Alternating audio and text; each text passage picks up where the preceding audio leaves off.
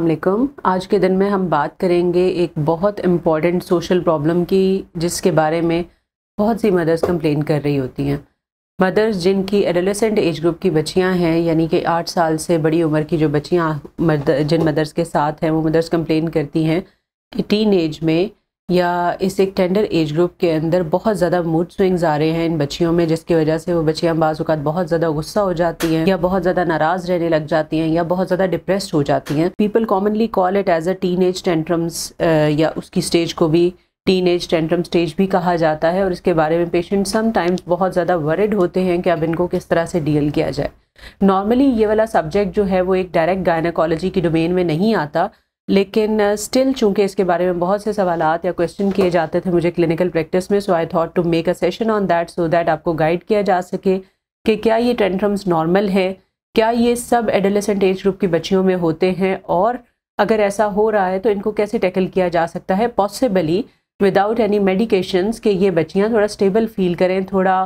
Protected feel करें और इस सिचुएशन को ईज़िली हैंडल कर सकें।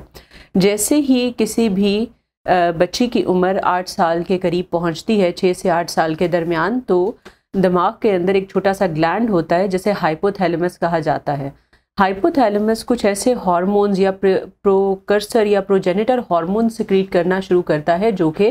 पिचुट्री एक और गदूद के ऊपर या एक और ग्लैंड के ऊपर इफ़ेक्ट करते हैं और सेक्स हार्मोन्स जनरेट करने लग जाते हैं, जिन्हें फॉलिकल स्टिमुलेटिंग हार्मोन या ल्यूटनाइजिंग हार्मोन कहा जाता है। आपको शायद मेरी बात से लगा हो कि ये सारा का सारा प्रोसेस एक या दो दिन में कंप्लीट हो जाता है तो नो बिल्कुल ऐसा नहीं होता। बल्कि this process takes around two to three years and sometimes four to five years as well so तीन से लेकर पाँच साल के अरसे में ये जो हॉर्मोन्स हैं, ये बनना शुरू हो रहे होते हैं और दूसरे ग्लैंड्स के ऊपर इफ़ेक्ट करके फर्दर हार्मोन प्रोडक्शन को ऑगमेंट कर रहे होते हैं। यही वो सारा का सारा सर्कल है जो जब स्टार्ट होता है तो उन बच्चियों के अंदर अंदर मिनार्की या प्यूबर्टी जो है उसके साइन एंड सिम्टम्स आने लग जाते हैं। अब आप ये चीज़ अच्छी तरह से समझ चुके होंगे कि जिन बच्चियों को थोड़ा सा अर्ली प्यूबर्टी हो जाती है उनके अंदर ये सारा प्रोसेस ज़रा जल्दी शुरू हो जाता है और जिनकी प्यूबर्टी नॉर्मल टाइम पे यानी 13 से 16 ईयर्स के दरमियान में हो रही है उनमें ये प्रोसेस तकरीबन 10 साल की एज में स्टार्ट होता है। सो so, जब ये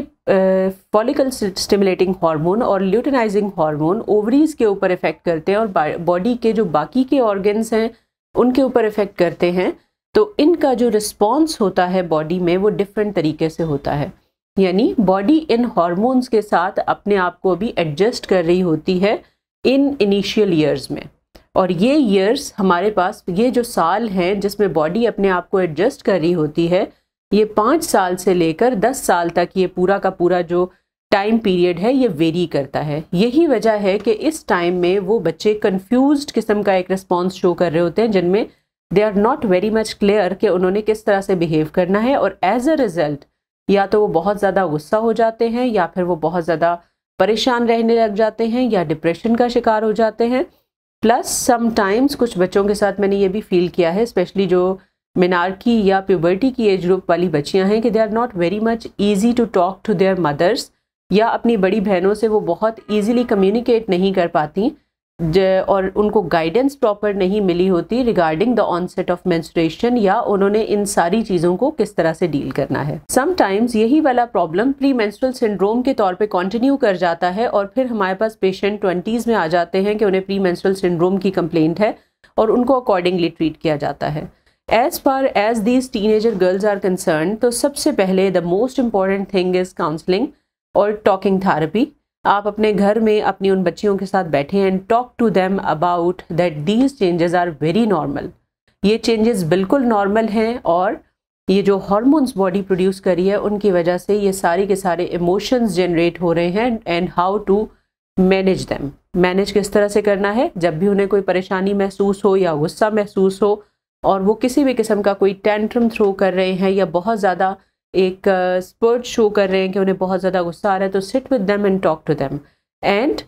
let them talk about whatever they are feeling चाहे आप उसको सुनना चाहेंगे, चाहे आप नहीं सुनना चाहेंगे, लेकिन आप उनसे उस बारे में बात करें। Second thing that is important is to manage their lifestyle आप खुद रिस्पॉन्सिबल हैं कि आपने अपने बच्चों के लाइफ स्टाइल को किस तरह चेंज करना है। आप उनके लाइफ स्टाइल को एक्टिव करें। उनका स्क्रीन टाइम कम करें। एडोलेसेंट एज ग्रुप की बच्चियों और बच्चों के बारे में पहले भी बात कर चुकी हूँ कि एटलीस्ट 60 मिनट्स की जो स्ट्रिनस फ़िज़िकल एक्सरसाइज है that is a mandatory thing means के तकरीबन एक घंटा उन्हें किसी बहुत एक्टिव फिजिकली जो एक्टिव सरगर्मी है, जैसे कोई स्पोर्ट्स हो गए हैं, कोई और एक्टिविटी हो गई है, उसके अंदर इन्वॉल्व करें। And third thing that is very important that is their diet try to manage their diet in healthiest way as possible ठीक है? इसमें आपने उन्हें बहुत ज़्यादा फोर्स नहीं करना। कोशिश करें कि ये बच्चियाँ जितना ज़्यादा हेल्दी डाइट लें, जितनी ज़्यादा फ्रूट्स वेजिटेबल्स और दूध, अंडे या दही इन चीज़ों का इस्तेमाल करेंगी, जो कि ऑर्गेनिक हैं या जो कि नेचुरल सोर्सेज से आपको मिलते हैं, उनका इस्तेमाल जितना ज़्यादा होगा और रिफाइंड कार्बोहाइड्रेट्स का इस्तेमाल जितना कम होगा ये सारा का सारा जो बॉडी की एक हमांगी है विद दीज हॉर्मोन्स ये बेटर हो जाएगी। टीनेज टेंट्रम्स के बारे में अगर आपके कोई भी क्वेश्चन हैं तो आप कॉमेंट बॉक्स में ज़रूर बताएँ, मैं उनका जवाब दूँगी and I try to record another session for that ताकि आपको प्रॉपर गाइडेंस मिल सके। Thank you very much